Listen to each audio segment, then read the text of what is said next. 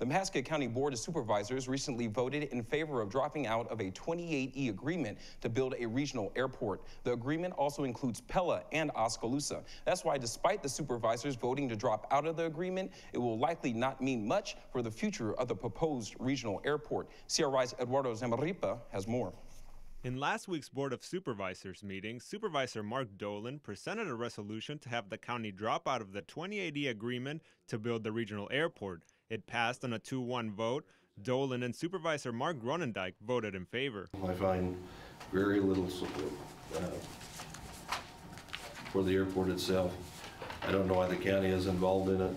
Um, I've met with city council members, I've met with the mayor, I've met with the city manager, and uh, never, ever really a good, a good reason why we're involved in the thing. They can exercise eminent domain without our involvement. We don't have any financial contribution that we're giving right now, nor will we.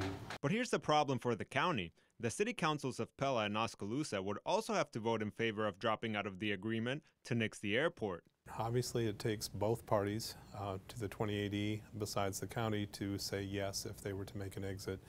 Uh, Pella has already voiced that they intend to uh, vote on it next week, uh, and so uh, we will probably wait until after they're done. We're not in any particular hurry to vote on it.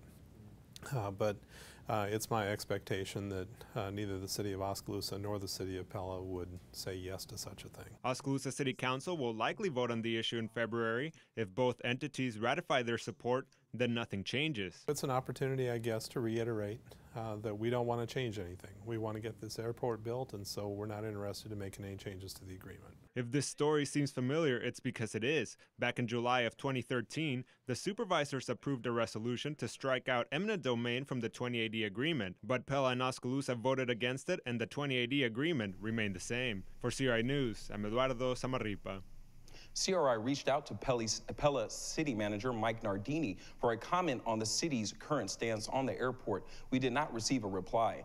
In terms of the progress of the airport, South Central Regional Airport Agency Chair Jim Hansen says the Federal Aviation Administration is still evaluating the environmental assessment. If the FAA issues a finding on no significant impact, then the project will continue moving along and the land acquisition process would begin.